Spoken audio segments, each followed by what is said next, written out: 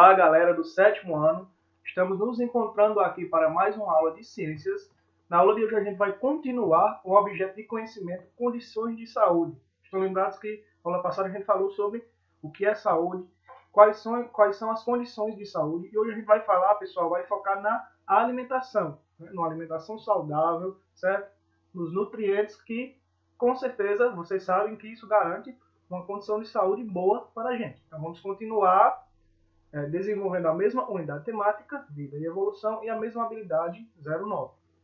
É, essa aula é a segunda parte, ok? Desse objeto do conhecimento, desse capítulo. Ainda vai ter uma terceira parte que a gente vai falar sobre desnutrição, segurança alimentar. Então ainda vai ter uma terceira parte desse capítulo, ok? Vamos lá? Pessoal, para iniciar a aula, vamos falar sobre alimentação saudável. Pessoal, para vocês, o que é ter uma alimentação saudável? O que é que vocês comem no dia a dia de vocês? O que é que vocês comem no intervalo da escola, em casa? Vocês acham que vocês estão tendo uma alimentação saudável? Sim ou não? Pessoal, uma alimentação saudável é uma alimentação balanceada. Comer bem, não se alimentar bem, não significa se alimentar muito, em muita quantidade. Então, é ter uma alimentação saudável é fundamental para que as funções do organismo funcionem de forma equilibrada, certo? De forma prática, uma alimentação saudável é aquela composta por todos os macro e micronutrientes. É uma alimentação que abrange tudo que a gente precisa, que a gente vai ver daqui a pouco: carboidrato, proteína, lipídio, ok? Vitamina. Então, os macronutrientes, que são os carboidratos, pães, massas e batatas, entre outros, que a gente come, é o arroz que a gente come, é um carboidrato que a gente come muito. É, é de nossa cultura comer aquele arroz com feijão no almoço, né? Gorduras como os óleos, é, as oleaginosas, abacate e outros, e proteínas, peixes, ovos, carnes vermelhas, carne de frango, entre outros. Então, uma alimentação saudável é que a gente consuma de forma equilibrada, não em muita quantidade, mas o, que o nosso organismo precisa, certo? É desses macronutrientes. Uma forma, pessoal, da gente adquirir uma alimentação saudável, da gente se alimentar corretamente, é seguir a pirâmide alimentar, que foi criada já há muito tempo. Ela abrange os macronutrientes, ó. que fica na base da pirâmide são os carboidratos.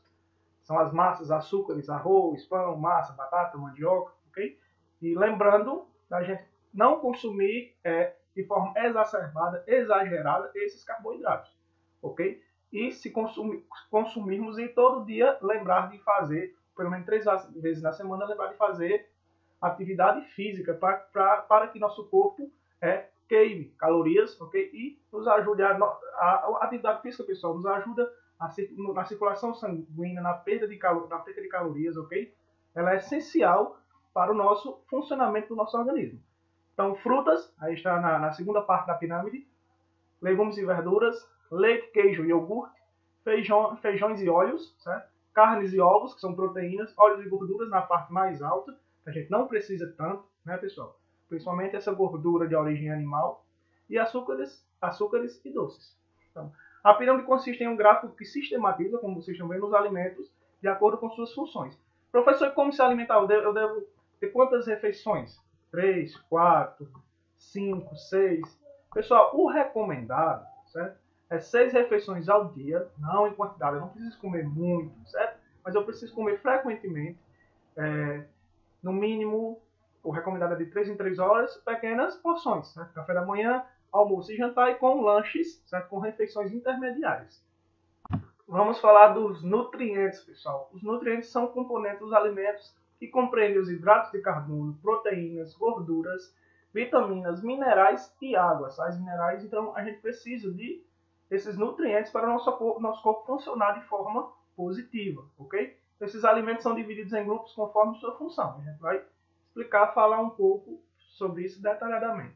Nosso organismo necessita de todos os nutrientes e os recebe através da alimentação. Por isso que é importante ter uma alimentação saudável. Todos são importantes e insubstituíveis, uma vez que desempenham funções diferentes no organismo. Pode ter função construtora, funciona tipo como tijolos, os tijolos de uma casa. Então, nós, é os tijolos do nosso organismo, como é o caso das proteínas, de alguns minerais e da água.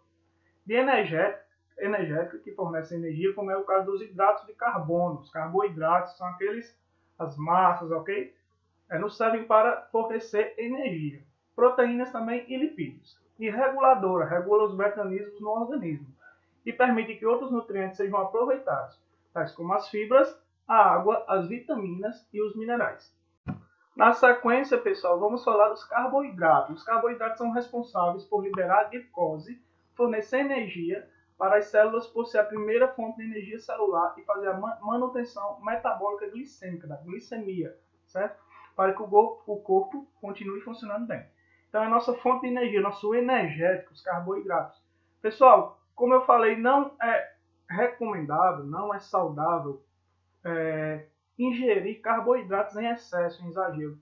É tanto que os nutricionistas, os médicos, quando a gente vai, uma pessoa vai fazer dieta, regime, eles pedem para cortar um pouco os carboidratos, porque alguns desses carboidratos eles são transformados em açúcar, açúcar para, o nosso corpo, certo? Quando a gente, eles nos fornecem energia, mas essa energia a gente tem que gastar por meio dos exercícios. Se a gente não gasta, fica acumulado açúcar e açúcar, certo? Glicose em excesso, açúcar em excesso no nosso organismo não faz bem.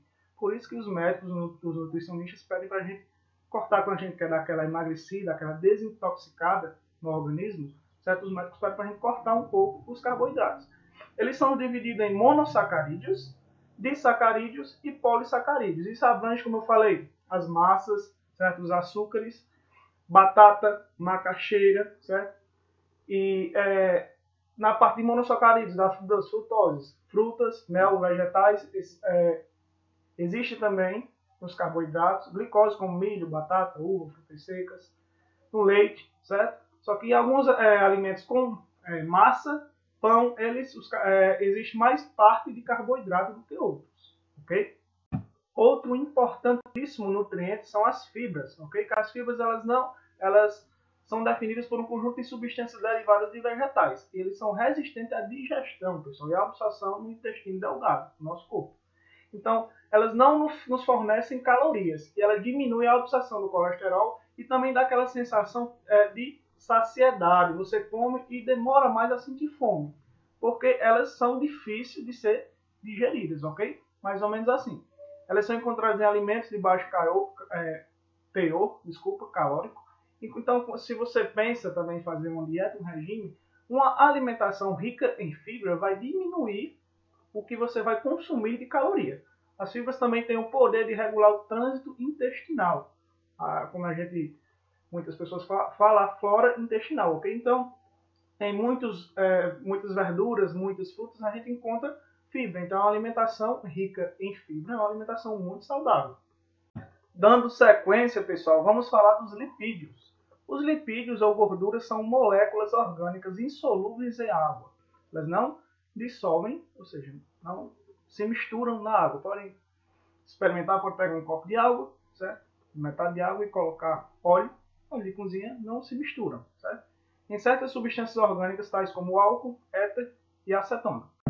Nessas, elas são, são solúveis, podem se misturar, certo? Também chamados de lipídios ou lipídos ou lipídios, essas biomoléculas são compostas por carbono, oxigênio e hidrogênio pode ser encontrados em alimentos de origem vegetal e de origem animal, sendo lipídios de origem vegetal é mais saudável, certo? mais saudáveis para o nosso consumo. seu consumo deve ser feito de forma equilibrada, sem exagero. Os lipídios apresentam, apresentam funções importantes para o organismo. O lipídio funciona como reserva de energia, pessoal. Ela é utilizada pelo organismo em momento de necessidade, quando a gente está precisando de energia, ok? é, quando nosso corpo está precisando, então funciona como uma reserva de energia e está presente em animais e vegetais. Isolante térmico, nos animais as células gordurosas formam uma camada que atua na manutenção da temperatura corporal. Então, ela mantém nosso corpo na temperatura que a gente precisa, nem tão alta nem tão baixa, sendo fundamental para animais que vivem em climas frios. Ácidos graxos, graxos certo? estão presentes nos óleos vegetais extraídos de sementes, como as de soja, de girassol, de canola e de milho, que são usados na síntese de moléculas orgânicas e das membranas celulares. E absorção de vitaminas. Os lipídios ajudam a, gente a absorver as vitaminas que nosso corpo precisa. Vitamina A, A, D, E e K, que a gente vai falar das vitaminas daqui a pouco. Que são lipossolúveis e se dissolvem nos óleos, essas vitaminas. Como essas moléculas não são produzidas no corpo humano, é importante o consumo desses óleos na alimentação, de forma equilibrada, sem exagero, também que os lipídios, as gorduras, principalmente de forma animal, consumidas em, exagero elas podem nos fazer mal, aumentar o colesterol e gerar outras, é, gerar até doenças, ok?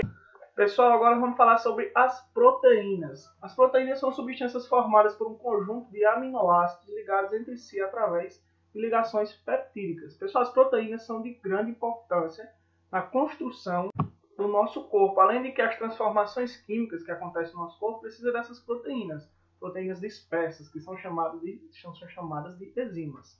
Existem apenas 20 tipos de aminoácidos, que são moléculas formadas por carbono, hidrogênio e oxigênio, que se combinam de forma variada para formar diferentes proteínas. A gente encontra essas proteínas em, em alimentos de origem animal, pessoal, certo? Carnes, é, ovos, ok? No queijo, no leite, certo? em algumas sementes também, no feijão.